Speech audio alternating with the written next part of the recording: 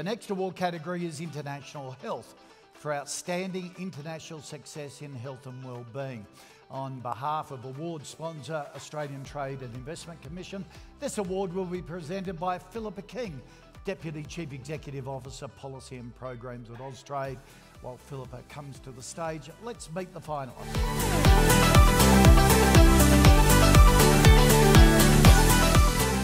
Government has a number of initiatives supporting the health sector, including the $20 billion Medical Research Future Fund, the largest endowment fund of its kind in the world, and the National Reconstruction Fund, mentioned by the ministers earlier this evening, which has earmarked $1.5 billion for medical manufacturing and generous research and development tax rebates, which nurture innovation in the healthcare sector.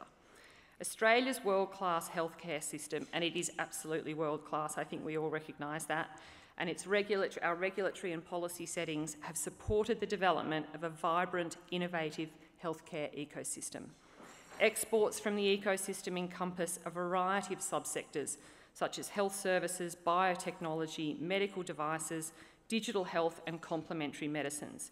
In 2023, this sector is expected to generate over $12 billion in manufacturing exports. Austrade continues to actively support Australian health companies export further and faster, and take extraordinary technologies global. And we're thrilled to be involved in all of those efforts. So the winner for the International Health Award is SDI Limited.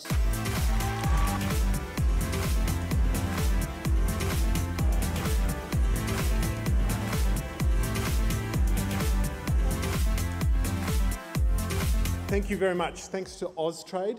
And uh, thank you to all the sponsors for, the, for this wonderful award. We were not expecting this, but this is really testament to the significant work that our team's doing in order to further uh, better dentistry around the world. Uh, just to start you off with a key fact, the World Health Organization actually uh, estimates that oral health disease is the number one form of illness around the world, affecting about 3 billion people. So that's almost half the, the population of the world. Now, it's, it's, it's really, uh, I guess it blesses the cockles of our hearts to know that our Australian research and development team do, do significant work, create patents and new technologies that we can then uh, uh, insert into our products and sell to over 100 countries worldwide. And we export to, uh, we export about 90% of our business globally. We've been around for 51 years and we plan to be around for at least another 50. So thank you very much. wow. 90 countries around the world. Uh, I want to focus on one of them. Bit of trivia. Australia has 16,000 dentists. Brazil has oh, 300, 360,000 dentists. Yes. No wonder Brazilians have good teeth.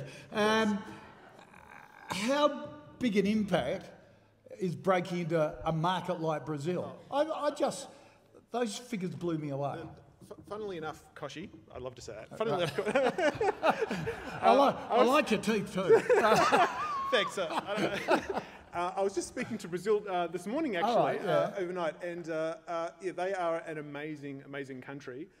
they push us to new heights because of the competitiveness of dentists in that country. They want better products so they can distinguish between other dentists and say, my restorations are better or my tooth whitening's better, and that's why. Is it a cultural thing that they have 360,000 dentists? It's a competition thing. There's people are fighting to get all, all, the, uh, all the customers, so they want the best products. Wow. That's pretty amazing, isn't it? Congratulations. Well done.